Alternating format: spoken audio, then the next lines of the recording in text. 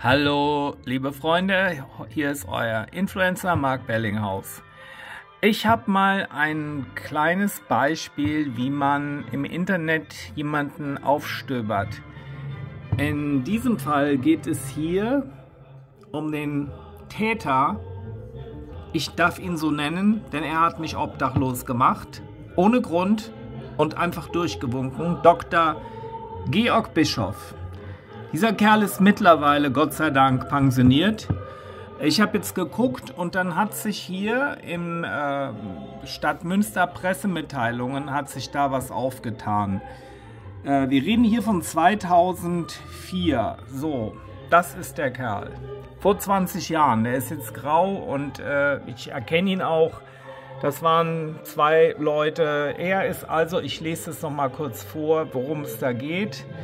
Ein Jubiläum der besonderen Art konnte jetzt Martin Schulze-Werner, Rechts, Leiter des städtischen Ordnungsamtes, begehen. In seiner Funktion als Ausbilder von Rechtsreferendaren begrüßte er Birte Brüggemann am 1. April die 100. Rechtsreferendarin beim Ordnungsamt. Aha.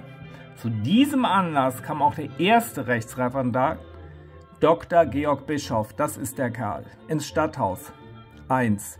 Er ist inzwischen Richter am Landgericht. Ja, mittlerweile ist er schon pensioniert, wie gesagt. Es war vor 20 Jahren. Seit November 1985 bildet Volljurist Schulze Werner Referendare während ihrer Zeit in der Verwaltung aus. Bla bla bla. So, das muss man sich mal vorstellen. Dieser Mann hat mich obdachlos gemacht. Und dagegen werde ich vorgehen, Herr Dr. Georg Bischof. Sie haben das gemacht und Sie wissen ganz genau, warum Sie das gemacht haben. In Ihrem schicken 80er Jahre ähm, ähm, Sakko aus Kord, so wie es aussieht, mit einer Krawatte, die jetzt wieder in ist anscheinend. Ja, nee, das lasse ich auch nicht mit mir machen. Äh, ich habe jetzt noch eine andere Sache gefunden und zwar geht das die Richter an, ja. Es ist unfassbar, was hier vorgefallen ist bezüglich äh, äh, dieses, dieses Theaterskandals. Und ich habe äh, jetzt auch rausgefunden, wo ich hingehen muss, wenn das jetzt, äh, wenn die, wenn das Theater Recht bekommen sollte.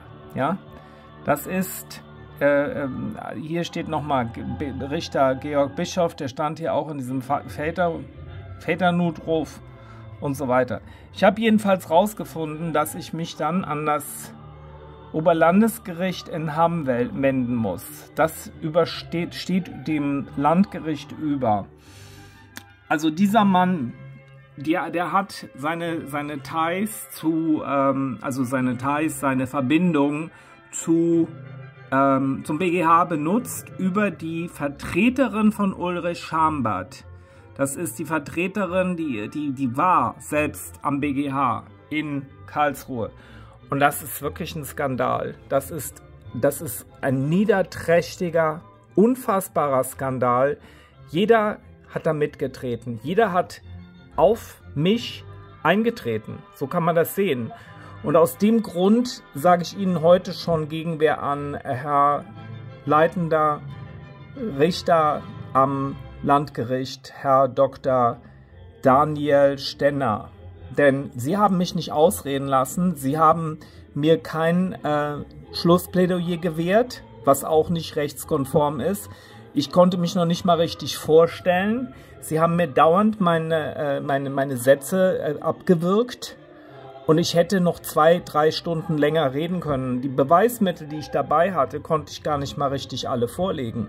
Wenn Sie glauben, dass ich dieses absolut ähm, unfassbare Schauspiel hier vom Theater Münster mitmache, dann haben Sie sich geschnitten, denn ich habe genug Beweise, dass diese Frau vorsätzlich gelogen hat, dass sie eine eidesstattliche Versicherung gebrochen hat und dass ihr deswegen wahrscheinlich sogar Haft droht. Denn wo sind wir denn? Dass da ein Kerl wie äh, Ben Remsi Al-Khalisi mich mit drei Worten in übelster Weise beleidigt im Theater und dann drei Leute rausschmeißt, die in friedlicher Absicht gekommen sind. Das zeigt, wie, wie, wie, wie schuldig dieser Mann wirklich ist, dass der absolut ähm, dass er, dass er, das, dass er das alles geplant hat. Denn, denn Sie brauchen ja nur lesen, was er behauptet. Er hätte dieses äh, Projekt mit Frau Brees schon 2020 äh, in, in, in, angegangen und die können natürlich im Nachhinein alles wunderbar behaupten. Die haben ja auch genug Dramaturgen am Theater, die sich das dann alles ausdenken und das wissen sie. Das wissen sie, dass ich meine Unterlagen nicht dabei hatte, das Zeug davon, dass die noch in meinem Umzugskarton sind, weil ich durch diesen Kerl hier rausgeschmissen wurde, durch ihr Landgericht. Und das hat ein Nachspiel.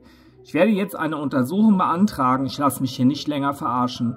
Und äh, das geht alles auf den Präsidenten des Landgerichts zurück. Ich sage Ihnen nochmal, schmeißen Sie dieses Theater raus. Sie können nicht neutral sein, wenn Sie am, Montagabend wieder mit äh, Entnau-Hanau da zu Besuch haben. Das geht nicht. Das ist absolut irre, dass sie hier dauernd das Theater, äh, die haben genug Kohle, die haben genug äh, Spielstätten, die brauchen hier nicht noch im Theater, äh, im, im Landgericht antanzen. Dagegen verwehre ich mich und ich fordere, ich werde morgen sowieso mit meinem Megafon vorbeikommen und werde das von Ihnen fordern, dass Sie nicht einerseits jemanden schuldig sprechen und auf der anderen Seite da dieses Theater hin und mir, wir wehren Sie mein Kunstprojekt ab mit der Begründung, Sie könnten nicht mehr neutral sein. Das ist doch Bullshit. Das wissen Sie auch. Und Herr Bischof, Sie haben gesehen, dass ich aufgelöst war, dass ich geheult habe. Und ich war in keinster Weise gefährlich. Wie können Sie überhaupt noch in den Spiegel gucken, dass Sie das alles geschafft haben mit einem üblen, üblen, üblen äh, äh, äh Verfahren, was Sie mir noch nicht mal gegönnt haben, ein, ein persönliches. Es ist alles abgeurteilt worden. Das ist sowieso schon auffällig und das ist Rechtsbruch.